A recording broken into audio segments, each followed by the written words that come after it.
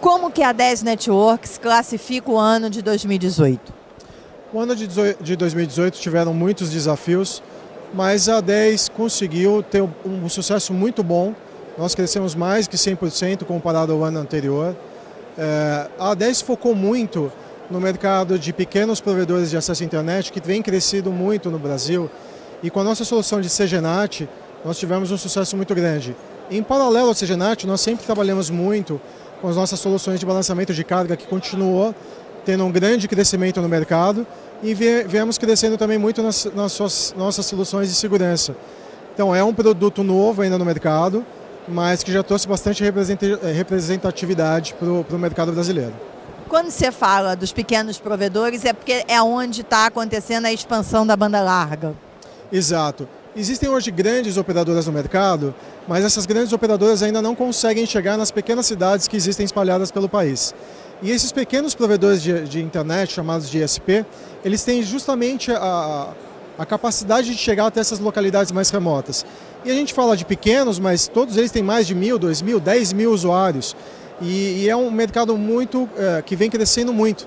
E todos eles têm hoje a demanda de ter um maior crescimento de usuários, mas tem a dificuldade de não ter IPs V4 disponível para atender a todos esses usuários. Então a nossa solução hoje de CGNAT vem justamente trazer um benefício para esse mercado para garantir o crescimento da quantidade de usuários, mesmo tendo essa exaustão de IPs V4. Mas e a migração para o IPv6? Boa pergunta. Na verdade, a nossa solução de CGNAT, ela justamente traz também a vantagem para esse provedor para ele começar a migração para IPv6. Então a nossa solução não é limitada ao NAT 4.4 como nós chamamos.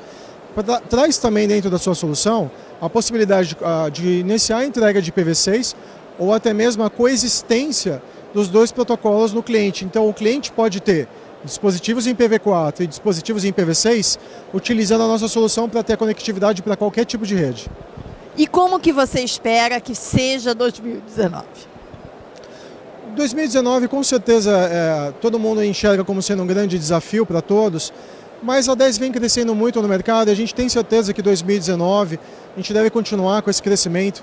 A 10 vem investindo muito, não só no Brasil, mas toda a América Latina, e com os novos produtos que vêm vem surgindo na parte de segurança, a gente tem certeza que vamos ter um bom resultado em 2019.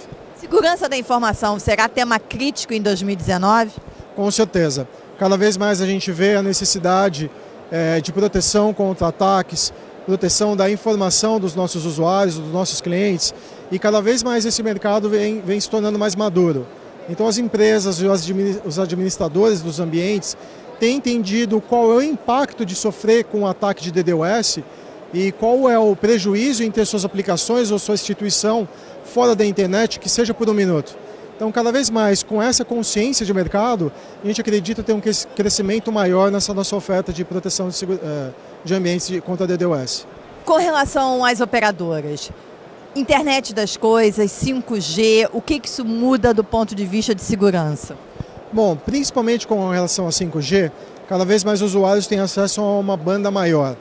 Tendo banda maior, a, a, existe a facilidade de tanto o usuário sofrer mais ataque, como também acabar gerando mais ataques.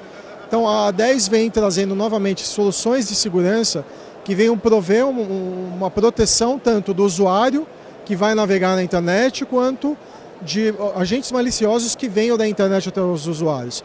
Então é sabido que hoje qualquer dispositivo móvel, qualquer câmera IP, qualquer, é, é, qualquer dispositivo que possui um mínimo de processamento, ele está passível a sofrer um ataque ou até mesmo ser utilizado para gerar um ataque. Então as nossas soluções vêm justamente para atender essa demanda e permitir que haja assim, o crescimento de dispositivos móveis e de conectividade sem a preocupação é, de segurança com a utilização das nossas soluções. A preocupação com segurança da informação é uma realidade no mercado brasileiro? A preocupação é no estágio que deveria ser? Olha, boa pergunta. Na verdade, recentemente a 10 divulgou um, um relatório de uma pesquisa que foi feita é, em todo o mundo, onde tiveram muitas pessoas da área de TI que também responderam essa, esse, esse questionário, que visava não só os administradores, mas também os usuários. Existe uma crescente conscientização é, do mercado de TI. É claro que a gente ainda precisa investir muito em educação. mas com certeza cada vez mais os usuários e os administradores têm a consciência da necessidade de investir em segurança.